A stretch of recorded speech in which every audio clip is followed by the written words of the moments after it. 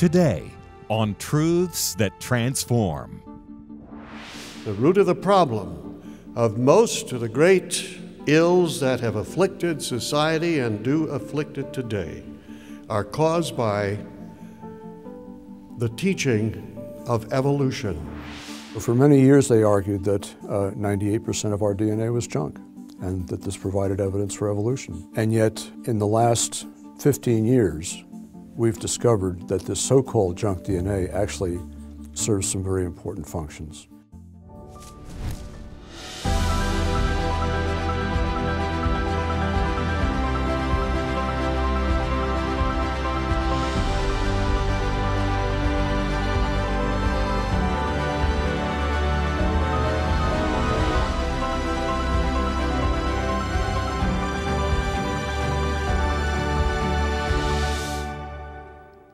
Welcome to Truths That Transform, a production of D. James Kennedy Ministries, where we are standing for truth and defending your freedom.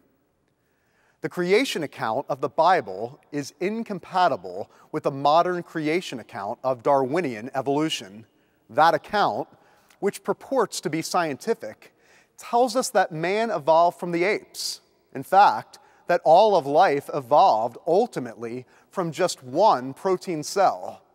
Anyone who questions this account, we're led to believe, is essentially like someone who believes the earth is flat.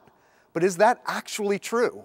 On today's program, you'll discover how evolutionary theory has led us into some of the greatest evils mankind has ever known.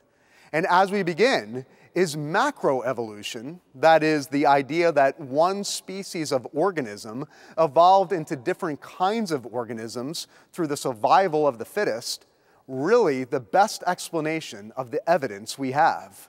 Our very own Dr. Jerry Newcombe takes a look.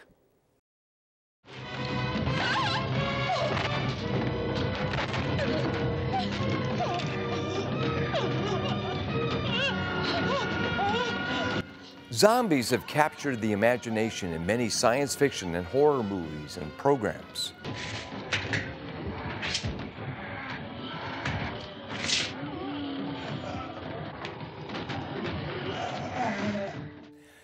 But what do some experts mean by the phrase zombie science? Well, Jonathan Wells coined the phrase zombie science to capture a phenomenon in evolutionary biology where uh, pieces of evidence or arguments for Darwinian evolution that have been uh, rebutted and refuted just keep coming back. People reprise the same arguments over and over again, no matter how many times they've been refuted or rebutted by uh, or, or, debunked by count, counter evidence.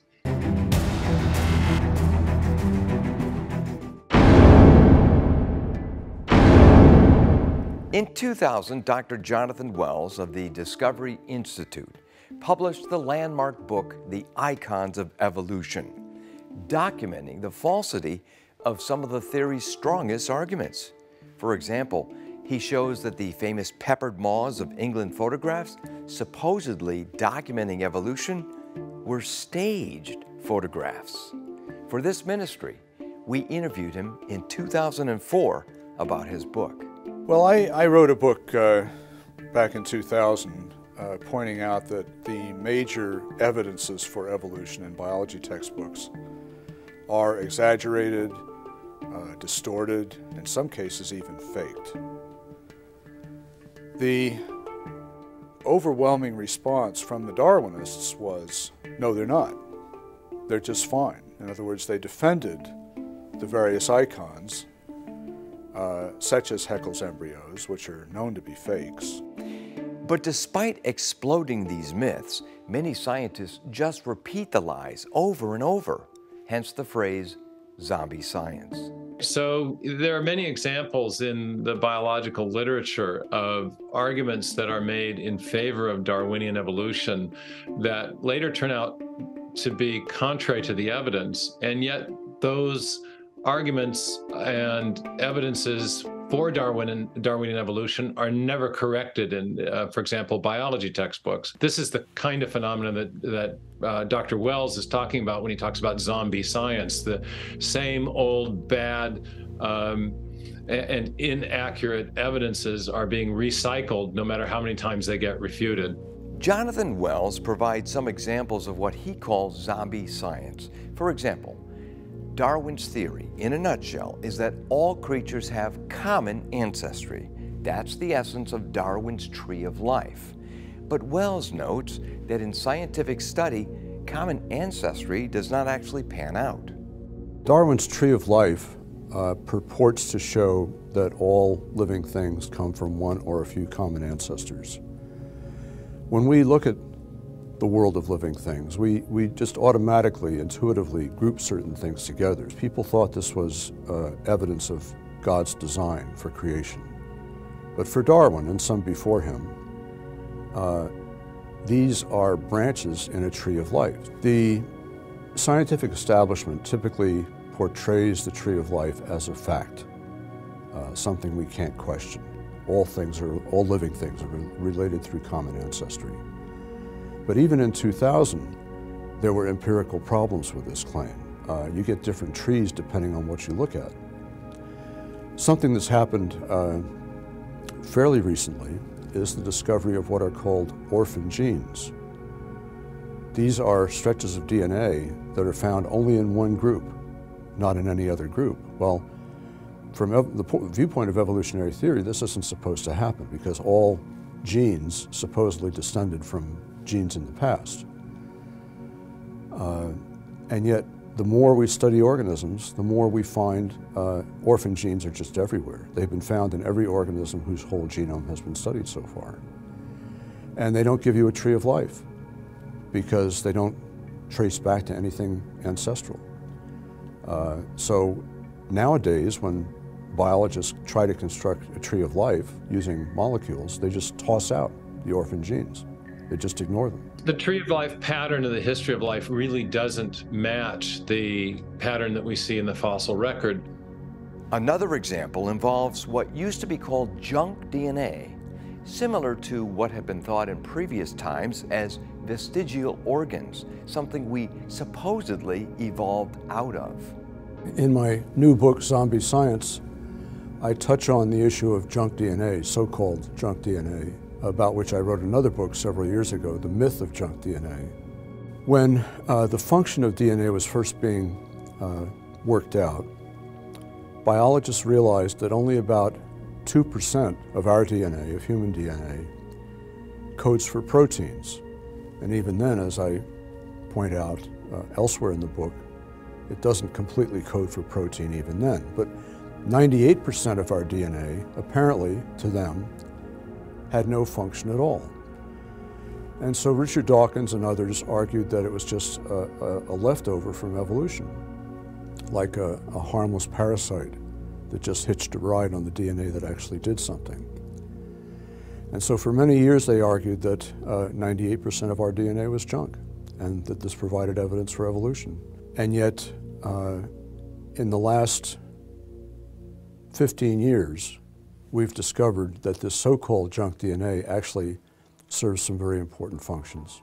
Hardly a month goes by when some other element of so-called junk DNA is not reported to be functional.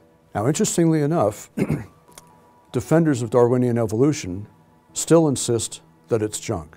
So there's a, a controversy right now between uh, people who study the actual functions of DNA and those who insist that evolutionary theory is true no matter what. The latter, to me, is a form of zombie science. One of the most significant icons of evolution is the famous artwork showing apes evolving to man. This icon is seen all over the place. When I published Icons of Evolution in 2000, uh, what I called the ultimate icon was a drawing of an ape-like creature gradually morphing through more and more human-like animals into a modern human being. Uh, this is perhaps the most powerful icon of all Uh, it touches us most directly uh, in the sense that it's about our own origin. And it's basically uh, an imaginative drawing to illustrate a materialistic story, namely that we morphed into our modern form through unguided evolution uh, without any design. Instead of ending up with a nice clean line from an ape-like creature, chimpanzee-like creature, whatever, to a modern human being, uh, each discovery complicates matters even more than they were complicated before. So we still don't know uh, really what human evolution looked like, if in fact it was evolution at all. The fossils themselves do not provide the evidence for ancestry and descent. In some cases of what Jonathan Wells calls zombie science, outright theories in one time get promoted to alleged facts at another time. A book that came out in 2007, uh, Defending Evolution, contained a drawing of an 18-winged dragonfly and a four-winged dragonfly. And the book argued that the same sorts of mutations that could change the number of wings in a fruit fly could also change the number of wings in a dragonfly and explain why uh, an ancient extinct 18-winged dragonfly might have evolved into the modern four-winged dragonfly. Well, two years after the book came out, the author was in a debate with Discovery Institute fellows Stephen Meyer and Rick Sternberg, and Rick pointed out that there never was an 18-winged dragonfly. And the author acknowledged this, the author of the book, and said it was just a thought experiment. Fine, that was in 2009.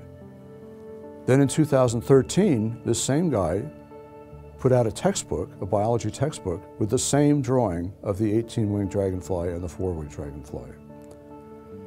And that book, in 2013, claimed that the 18-winged dragonfly was a real fossil, was a real animal. So in just four years, the 18-winged dragonfly evolved from a thought experiment into a real fossil. Such as the power of zombie science. Even though one key argument for evolution after another seems to crumble, the theory keeps getting promoted in virtually all the major institutions of our culture.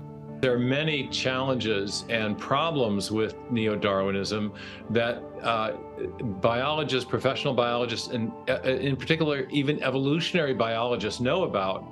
But in textbook presentations of the evidence, uh, those problems are glossed over, and you get a kind of stylized or idealized version of the theory and, and a narrative that goes with it. A big problem with Darwinian evolution, uh, unguided macroevolution, is that it, it can give you whatever you want. Uh, if, if you find similarity, that's due to evolution. If you find dissimilarity, that's due to evolution. Uh, and so a theory that explains everything, of course, really explains nothing. Politicians and activists are filling the airwaves with misinformation about abortion. But our free resource, Quick Pro Life Answers, gives you clarity on the propaganda, answering questions like Is abortion now illegal? What about cases of rape and incest? Why should nine unelected judges decide what a woman can do with her body? And much more. Download Quick Pro Life Answers from our website today, or we'll send you this valuable resource at no cost or obligation to you. Just call or write asking for Quick Pro Life Answers to help you respond clearly and biblically. The famous evolutionary biologist and atheist Richard Dawkins once said, Darwin made it possible to be an intellectually fulfilled atheist. If you examine that statement closely, you see that it puts the atheism first and the support for it second. And as you've just seen, the evidence is not nearly as robust as they often claim. But Darwinian theory, in service to atheistic ideology, is more than just wrong it's exceedingly dangerous. Dr. D. James Kennedy explains in his message the root of the problem. We have a lot of problems that have plagued this world in the last several centuries, and there have been a lot of great evils that have tromped back and forth across the world and have left hundreds of millions of people dead in their wake. The root of the problem of most of the great ills that have afflicted society and do afflict it today are caused by the teaching of evolution. It has been called the big lie, which has deceived hundreds of millions of people and has probably brought about more death than any other view in the history of the world. Evolution, which simply says that the whole universe is made up of nothing but matter. And matter, time, and chance, the trinity of materialism, have brought all things into existence that, they do, that do exist, and therefore there is no God. Parents may do all that they can to rear their children to be honest and godly and moral young people, to have purpose in their lives, and then they send them off to four years of college, and after that, they wonder what happened. And all of those things are undermined. And if that doesn't do it, a couple of years of graduate school are almost certain to destroy any vestige of belief in God, moral absolutes, morality, Americanism, patriotism, or any of those things. And that, my friends, is due to evolution. Evolution has made our public schools and universities and this college a mortal danger to the lives and souls of young people with tragic consequences. Because of evolution, man has lost his significance. Today, students are taught that man has no purpose because you see, teleology, the science of purposes, is the bete noire, the black beast of evolution. They cannot stand that anything would have purpose. Teleology must go. And so, therefore, everything is not pre planned by a divine intelligence and a beneficent God who providentially provides for his creatures. No, it all happens purely by chance with no foreview of what the end in mind is at all. Therefore, man has no purpose. Consequently, he has no significance. Of course, you know that Hitler was a devout evolutionist and a follower of Nietzsche and Haeckel and that he taught evolution to his, to his troops. He gave them all, all of the Wehrmacht a copy of uh, Darwin's book and Nietzsche's book, on, which talked about evolution of the God man, of our becoming God, and he was absolutely determined to create a super race by getting rid of the inferior races. And by the way, racism is basically an evolutionary concept the word race is never even used in the Bible, except for a foot race. But all of the 19th century evolutionists were strong racists, including Darwin, who said that the inferior races at some time in the future would all be destroyed by the superior races, and Hitler and others set out to do so. We also know that the founder of Planned Parenthood set out to get rid of the human weeds, as she called them, so that the superior stock might prevail. And also, I trust you know that communism is based upon evolution, as is Nazism, as is fascism. And the communists killed, according to the Senate Committee of the United States of America, 135 million people in peacetime the greatest mass murderers of all time Stalin and Mao and Pol Pot and all of the rest, and all of that compliments of evolution. Therefore, we can conclude with a statement made by a very famous evolutionist, Sir Arthur Keith.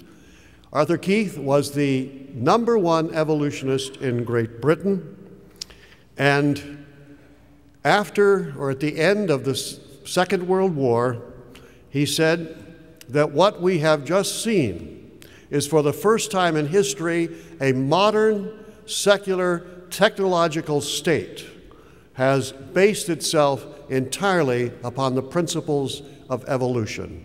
He was horrified. He wrote 20 books defending evolution. And then he saw it in Nazi Germany and the Holocaust, and he was appalled. And he said also this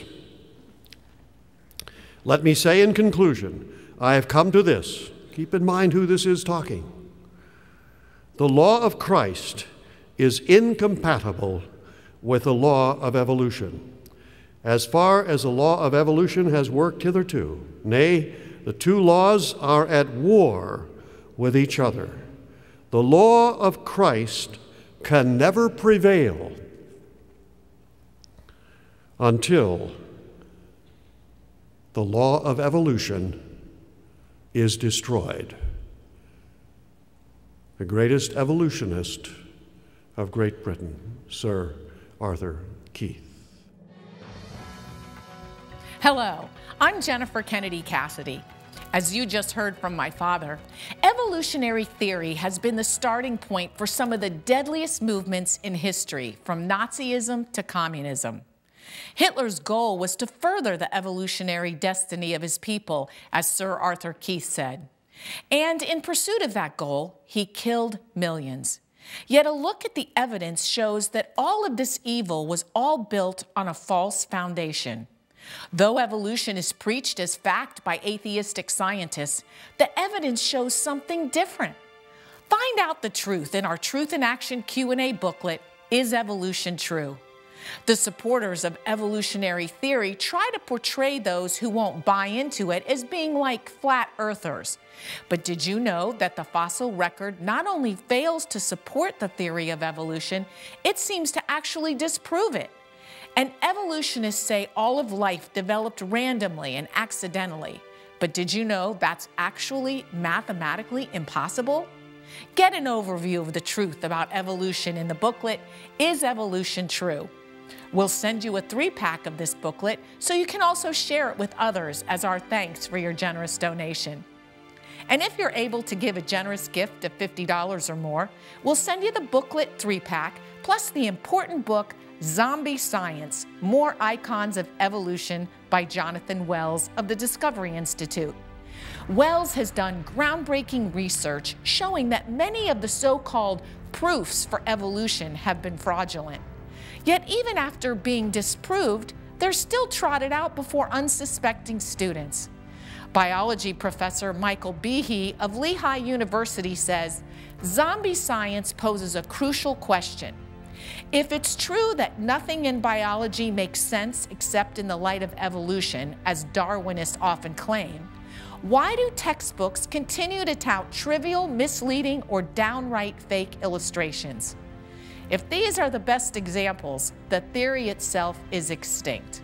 Discover the true facts surrounding evolutionary theory and how establishment science has tried to hide its weaknesses behind false and misleading claims.